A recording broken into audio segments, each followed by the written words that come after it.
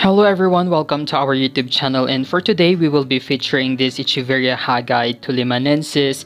And isa siya sa mga succulents na unique ang kanyang color kasi depending on the angle, yung color ng kanyang leaves would be in the shade of dark blue to sometimes purplish yung color niya. So yung leaves niya rin is very thick as you can see then yung growth niya is upright or pataas. Kung mapapansin nyo din meron siyang thin layer of farina. Yan yung parang white powdery coating sa kanyang pinaka leaves and that's very important kasi it protects yung ating succulent from getting sunburned. In terms of it light requirements, dapat ilagay natin siya sa isang area na nakaka-receive talaga ng full sunlight. In my case, it's receiving an all-day long sun exposure and since I have mentioned earlier nga na may farina siya, it's okay na naka-full sunlight siya kasi meron naman siyang protective layer kaya as much as possible we should avoid touching or removing itong white powder coating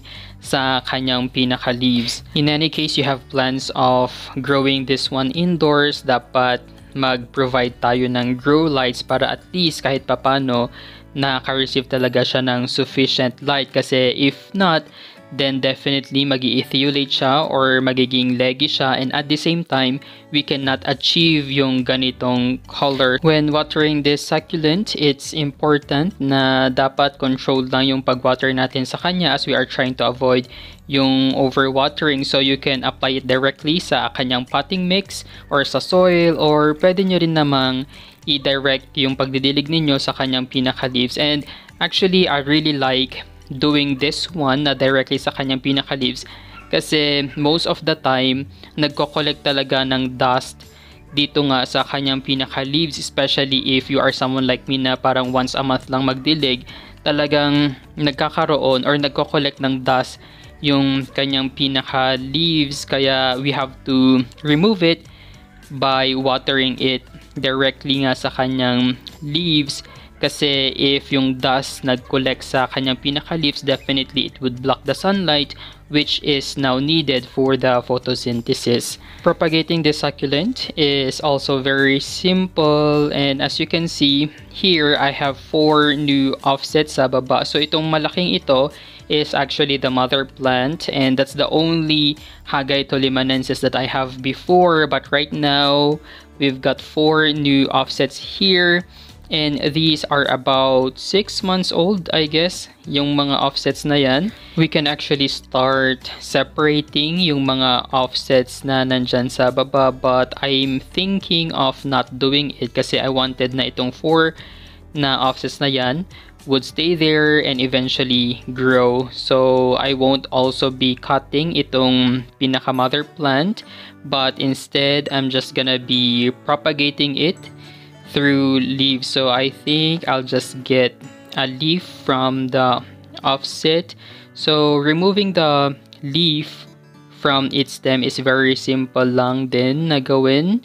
We just have to be gentle and that's it. We can immediately put this in our potting mix and just wait for several weeks until it starts to root and produce a new offset. So I have here an example of a leaf propagation. Nilagay ko nga siya dito sa pot na ito.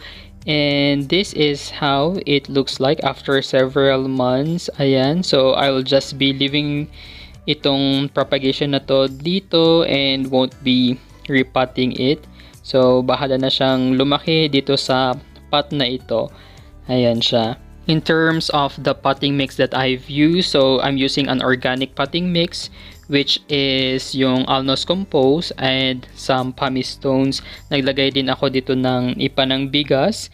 And if I can remember, parang more than one year na ding nakatanim itong succulent na to in this potting mix. And it's really advisable na every two years, we will be kumbaga uprooting it and changing yung kanyang soil para naman ma-replenish yung nutrients na needed ng ating succulent. So sa ngayon, I won't be repotting or changing its potting mix yet. Hintayin lang natin na lumaki muna itong ating mga um, offsets here before we eventually change and repot this succulent. And lastly, I have to say na sobrang daling i-maintain nitong succulent na to and I never had any problem in terms of fungus sa kanya. But syempre, I do a regular na application ng systemic fungicide. So, I do it twice a year. So, probably that really helps para hindi siya magkaroon ng fungus. And syempre, I also apply an insecticide from time to time kasi we are trying to avoid some pest infestation. So that's all for today. Thank you guys for watching. Don't forget to like and subscribe to our YouTube channel. You may also visit our Facebook page, A Desert Succulent PH.